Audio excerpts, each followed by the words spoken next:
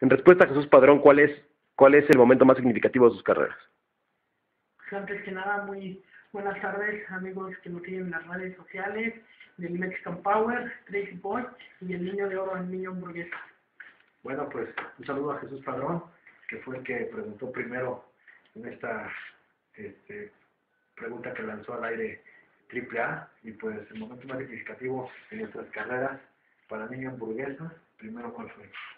Para mí fue la pauta que, me, que AAA me dio para, me abrió las puertas para entrar a esta empresa y creo que es el momento más significativo de mi carrera.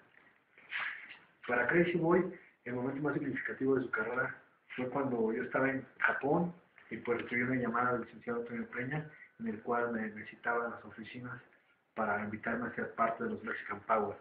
Y de ahí en adelante, yo creo esa responsabilidad de llevar el legado que nos ha dejado de ser un, mexicano poderoso para defender los colores padres y para defender el honor en cada lucha que subimos uh, contra el mal, es algo muy significativo para Crazy Boy, que pues de ahí, gracias a Dios, este, mi carrera empezó a despuntar y es el resultado que ahorita tienen con los Mexican Power. Sí, señor.